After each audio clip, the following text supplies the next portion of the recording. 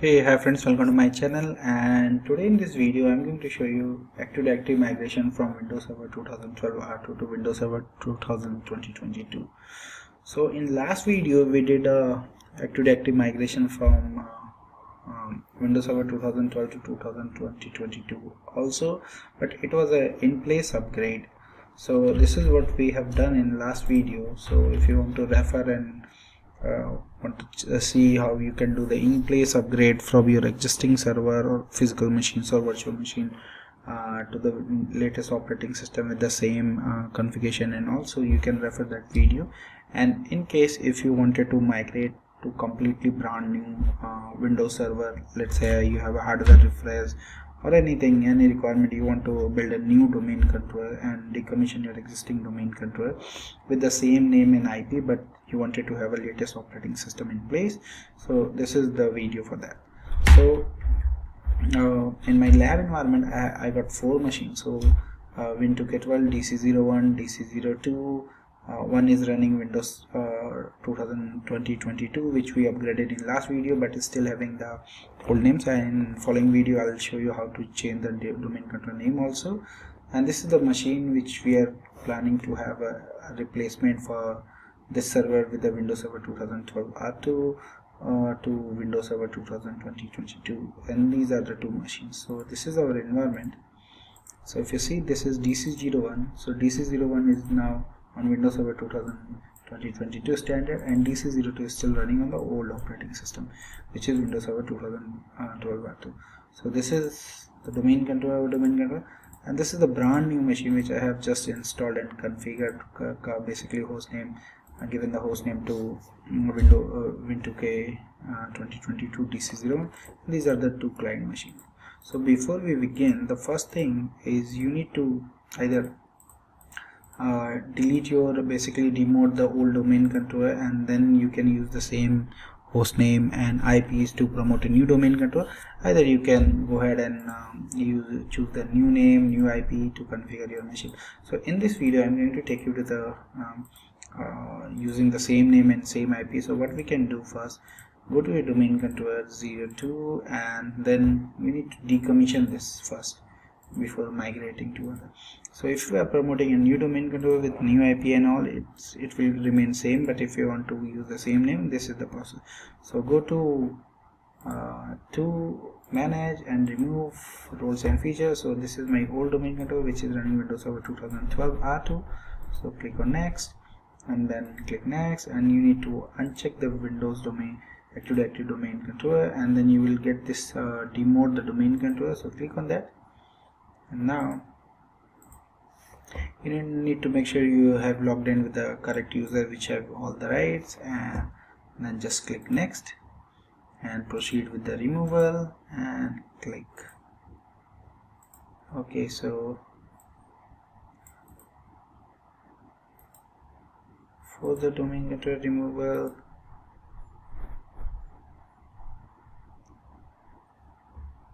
so this is running running a uh, DNS and global catalog. So you need to remove the global catalog first. So go here active directory users and computers. And then go to your server domain controller and click on properties. And then you see here the DC tab is global catalog. So now just go here and remove the uh, global catalog. So enter DC settings and remove this global catalog. Click on apply then ok. Now you will see this is changed to DC so now this is no more global catalog. This is good. Now just click back and click next and remove this. It should show you the next button. Now you can see the proceed to remove. Next is highlighting. So just click on this and then you can remove the DNS delegation also. So click next. And then you need to set the local administrator password. So click next. Now this is done. That will take some time and one reboot to finish the, uh, demotion of this domain controller and then you will be good to go and promote the new domain controller uh, with the same name and same IP so I'll wait for this uh, domain controller to reboot and then it will shut down and then we will configure the new domain controller.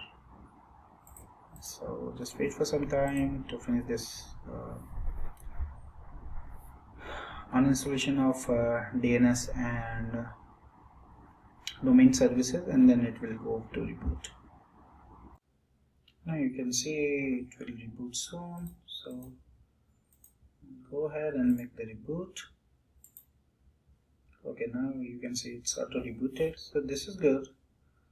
Now if you go here and just refresh this you will see domain controller is removed from here.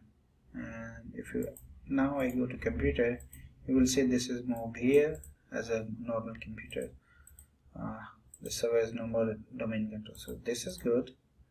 Now I'm just going log into this server and shut down the server so we can use the same IP in our new domain controller.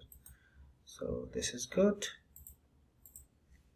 Now go ahead and cancel this. And now this is our new server. So I'm going to do the first thing configure IP address. So IPv4 and then 192 and 152 192 168 0 dot 1 192 168 0 dot 151 2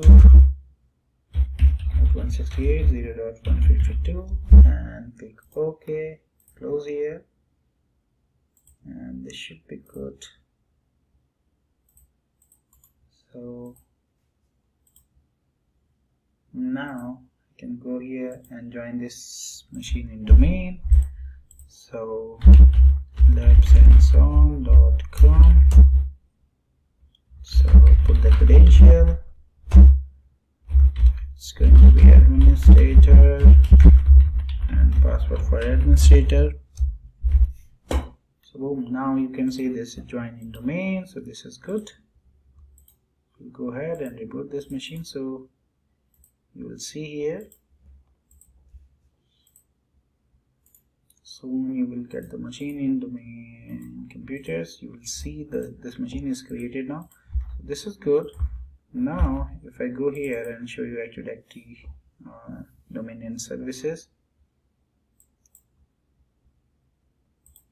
you will see the existing machine is still there. So you can go ahead and just delete this machine to clean up your AD metadata. So this is good. Now we have only one domain controller so now we can go ahead and log into our new domain controller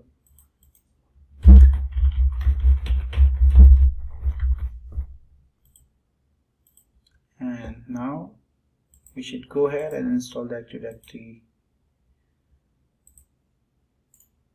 domain controller role this is done. Now let's see with whom user we have logged in so who am I? Who am I? So I need to log in with the domain administrator or the user who have a login rights like should be member of domain admin enterprise admin and all. So absence as administrator. I'm going to type my password here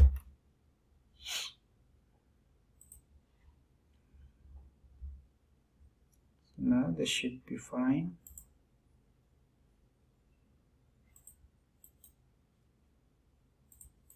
So I'm going to change my display setting. So it should be 75 175 so you guys can see my screen what I'm doing. And now I'll go ahead and install the directory domain roles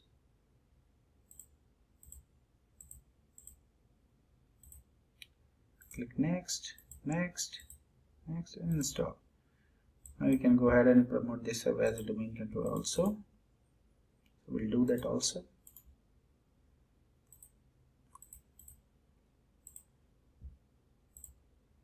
So wait for a few seconds. It's not going to take more than one minute I guess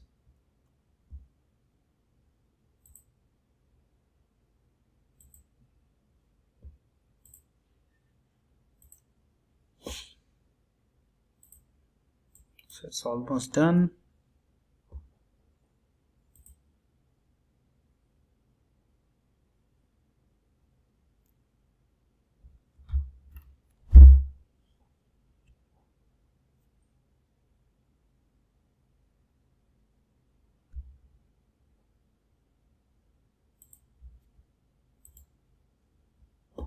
So now you can go ahead and promote this server as a domain controller so add a domain controller existing domain which is labsandson.com and this is my admin credential user rights and credential. Now you can go ahead and add if you have a multiple uh, sites you can add there.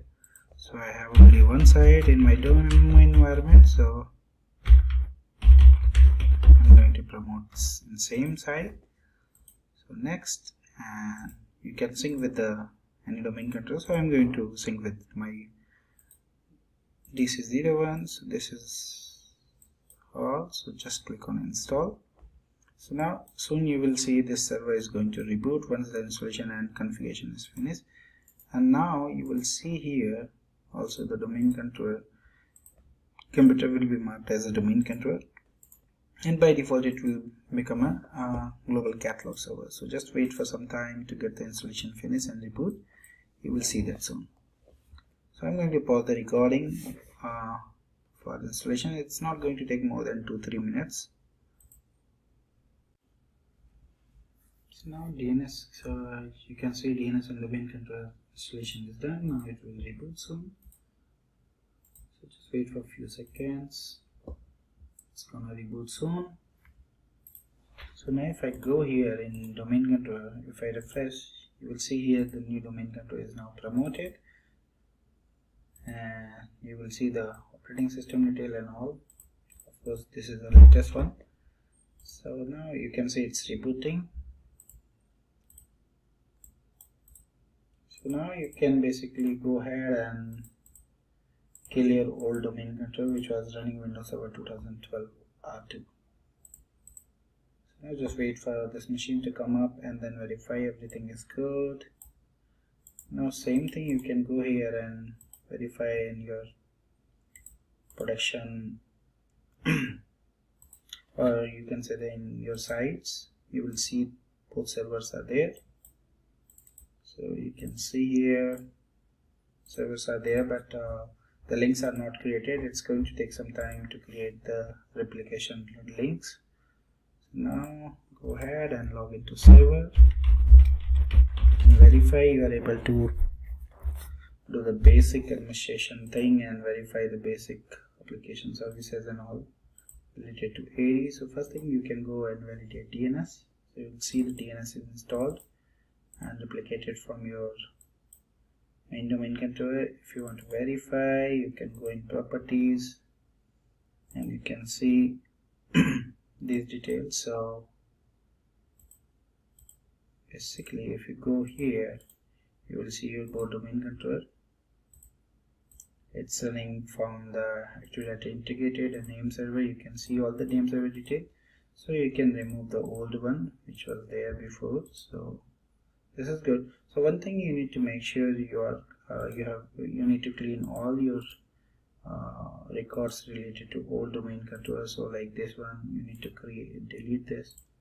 So make sure the cleanup is done properly in your infrastructure for old domain controller. So DNS is good now we can go and verify active users and computers so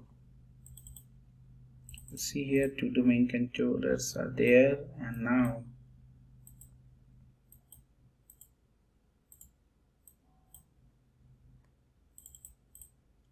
if you want to change the main controller also you can go ahead and verify domain controller okay it's gonna take some time to give you the domain controller link. So this is good. You'll see it. Two domain controller both are in same site and with the global catalog and all. So now you can see the replication is automatically created. So you just need to wait for some time to get the AD automatically synced and get, the, all the information synced at the backend and now if you choose a domain controllers click on change domain controller you will see all the domain controls are available. So this is good now. Our both domain controls are up and running with the latest operating system windows server 2000 uh, 2022 and in this videos uh, last two videos and uh, one video basically in this video i have uh, given you two scenarios where, how you can do the in-place upgrade and uh, migration to the new operating system with the new machines.